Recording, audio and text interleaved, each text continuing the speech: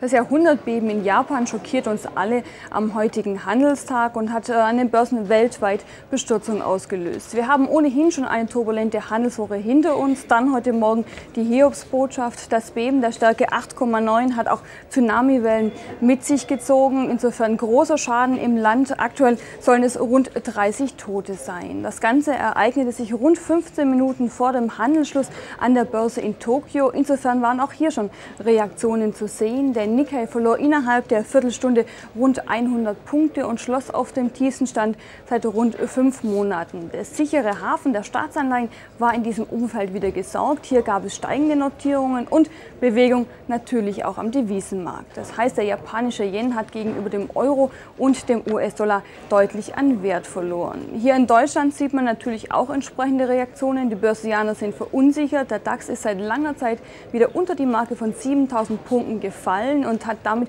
viele Anleger in Stuttgart erstmal auf dem falschen Fuß erwischt. Sie hatten nach den turbulenten Tagen darauf spekuliert, dass es zu einem freundlichen Wochenausgang kommt. Insofern war das Stuttgarter Stimmungsbarometer gestern ja lange Zeit im grünen Bereich gewesen.